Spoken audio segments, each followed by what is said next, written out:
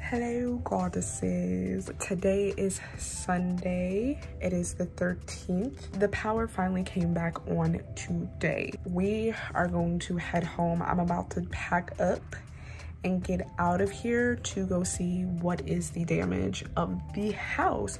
Hopefully there's no damage. Um, my mom looked at the camera. Um, the only thing that it looked like the mat flipped over. So anyway, I'm gonna pack up. We gonna head on home because girl i'm so ready to like wash my hair because it is so dirty right now. It is so flaky. And i just like i just want to go home. I just want to go home. I want to go home. I want to go home. Oh, oh, oh, ready to go home. So anyway i'm about to pack up and i will see y'all when we get back to the house. I see already on the like map that there is some flooding. So as I drive, I'm gonna try and get footage to see what it looks like because I know in 1,000 feet, turn left. It's gonna be bad. I know that there is gonna be a lot of damage going back. So yeah, this is gonna be interesting.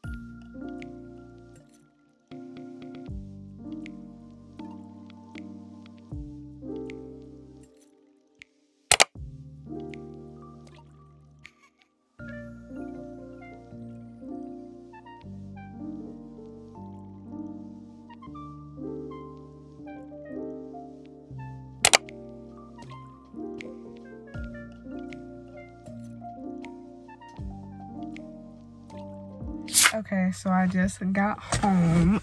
Ah. Oh my god. My seatbelt hit my nipple. Oh, and it's the one with the nipple piercing that hurts so bad. So it just seems like a lot of damage of like trees and stuff. But I'm about to, I'm about to go inside.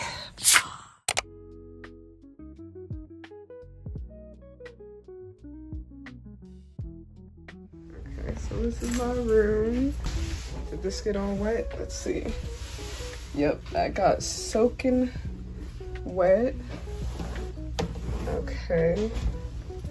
Some water did come in there.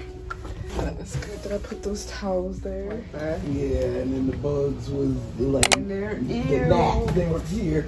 So as soon as I opened up the refrigerator, they went in, so I got it. Ew They wanted a little, but nothing. Nothing.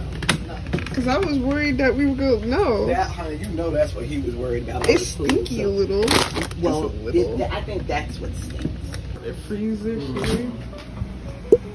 Ooh, yeah, that's, that's disgusting. well, I mean, that little hint that I smelt in that freezer is nothing. Because what? Yeah. Okay. Well, that's good, though. What's that? Oh, is that a sock? Oh, it's just a sock. Oh, I'm just happy I can wash my hair. That's what Because I haven't even bought my suitcase in or anything. I just want to... Yeah, I just wanted to come and see the house first before I brought anything in. Okay. Here we got his seat outside. Trees move back here? Oh, I don't know. The only thing I have back here, these wicker things oh, fell, but that's it. Oh, but. Okay. Tree right there fell. Okay. On the, on the highway, did you happen to I saw we have no damage, thankfully. There was just like kind of a lot of trees and debris that was around as we were coming home. I mean, I saw a truck that was flipped over. I'm not gonna lie, when I was driving, I don't know if y'all saw like my eyes were kind of like watery, a little teary eyed. It really wasn't because of the damage.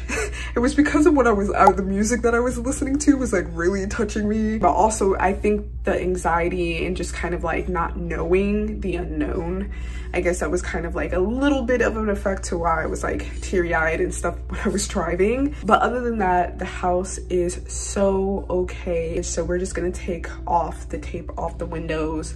I just have to sit here and say thank you guys for checking in on me because I know a couple people were reaching out to me through messages and everything and I really really love you guys and I thank you for the support and I just want to sit here and really say this even though we are okay there is people out here that have had significant damage and just because I'm blessed and I'm okay, that does not mean other people out there are blessed and okay. Just give them prayers because I can't imagine coming home and losing everything.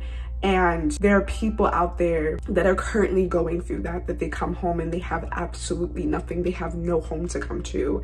And I think that's why when I was driving, it was getting a little emotional because I knew our house was going to be okay. But at the same time, that is not everyone's reality. And I think the biggest thing is I do not want to be insensitive for people out there that do not have some something to come home to.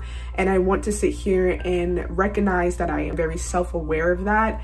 And at the same time, you know, if there are people out there, I really do give them blessings. I do give them prayers that they will make it through. And it's okay to cry. It's okay to validate your anger as well. I think this is the biggest part that I've realized through my experience in life when it comes to like healing and just like going through your emotions. Being angry is a part of healing, and I want to really address that. I know that there are people out there that aren't even in a situation like this or can't really understand losing everything, and that is something that I can sit here and say, This is my second storm that was really serious. I've been through th- Sandy, and even through Sandy, we lost trees in our backyard, and that was it. We just didn't have power for like a week, a week and a half. And with that, still, I realized having power and how our daily lives were so affected by something of just not having power. Share this reminder that people are going through a different grievance. Now, I know that there are people that think of grievance just only in the sense of people of losing a family member or a friend. Going through a grievance of losing everything, like your house or whatever have you, your car, that is a grievance. And being angry is valid. And I just want to sit here and say that for anyone that is going through this experience. I just want to sit here and validate you in the sense of going through that grievance and being angry and being mad is very valid. And don't listen to anyone. If they're like you should be grateful for this no it's okay to not be grateful. It's okay to be upset. It's okay to allow yourself to be angry. If you lost something significant there are going to be people that are going to protect as well as they come from privilege. Personally being someone that has gone through grievance in the sense of losing my father, losing my grandmother, I think people kind of are ignorant to people's like feelings and emotion and it's like everything's gonna be okay. Yes, but it's not right now. And I just want to sit there and say that. With that being said, thank you goddesses for tuning in.